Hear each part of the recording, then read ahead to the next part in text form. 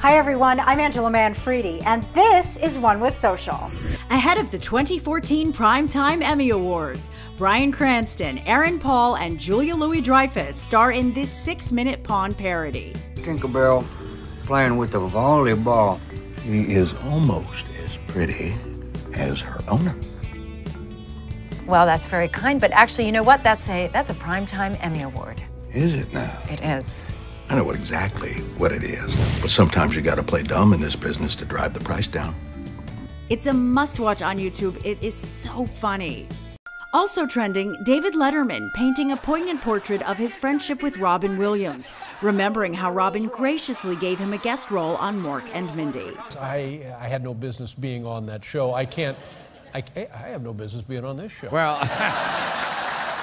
On Twitter, Ellen DeGeneres posted this photo with Portia de Rossi, who gifted Ellen with skywriting to celebrate six years of marriage.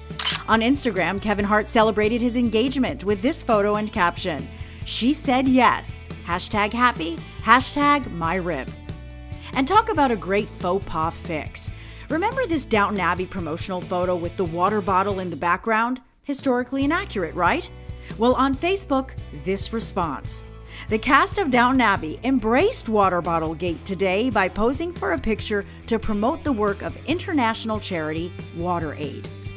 Well played, Downton Abbey. Well played. Send us your favorite social media moment. We're on Twitter at One With Social. We're on Facebook and Instagram and at onewithsocial.com.